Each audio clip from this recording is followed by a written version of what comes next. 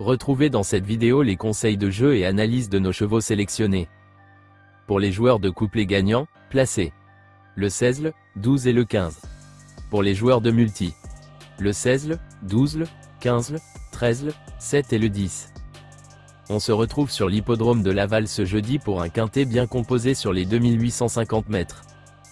Commençons par Grâce du Dijon le numéro 16 qui a très bien couru ces derniers temps, aussi bien à l'attelé qu'au monté. Elle est parfaite au travail et ce bel engagement tombe à point nommé. Franck Nivard l'a déjà menée au succès. L'opposition est de taille et elle doit rendre la distance, mais elle devrait répondre présent.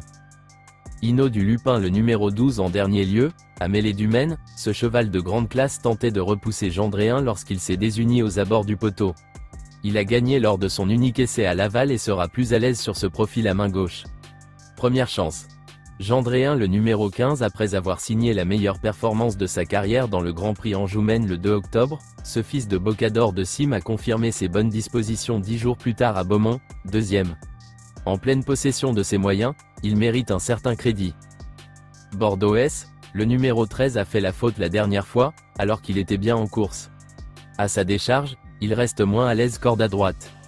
Il doit rendre la distance mais découvre tout de même un engagement intéressant. Il est parfait le matin et a les moyens de se réhabiliter. Gazelle de Val le numéro 7, invaincu en 4 essais au trop monté, cette représentante d'Éric Lambert est certainement à l'aube d'un grand meeting d'hiver. Cela dit, elle n'est pas dénuée de moyens à l'attelé et découvre ici un engagement assez intéressant. Cashbank Bigi le numéro 10 absente depuis sa troisième place du 2 juillet à Vichy, dans un groupe 2 de haute volée, cette jument italienne se présentera en mode course dès cette réapparition. Dotée d'une redoutable pointe de vitesse finale, elle a les moyens de jouer un premier rôle.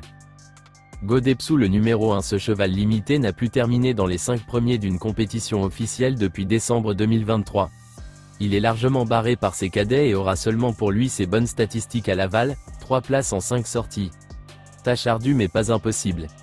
Jason le numéro 4, ce sujet estimé déçoit ses supporters depuis le début du second semestre mais fait partie des plus talentueux en valeur pure.